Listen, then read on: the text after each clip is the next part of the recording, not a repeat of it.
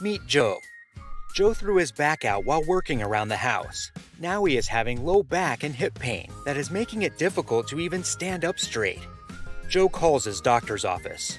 The next available appointment is not for three weeks, but Joe is desperate. He schedules the appointment for three weeks. Meanwhile, Joe's pain is significantly affecting his life, making it really hard to keep up with his daily responsibilities. Meet Dave, Joe's neighbor. Dave tells Joe that physical therapy helped him with his back pain and recommends he call Baudry Therapy Center. Joe calls and is able to schedule an evaluation the next day.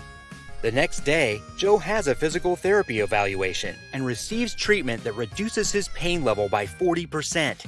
In one week, Joe's pain level is down to a 3 out of 10. By the time Joe sees his doctor, Joe is about 90% better. Together, Joe's doctor and physical therapy team are able to provide Joe a strategy to keep the pain away. Dave was right. Early intervention with physical therapy helps address acute pain and speeds recovery. Now, with direct access, physical therapy is just a phone call away. If you are Joe or know someone like Joe, give us a call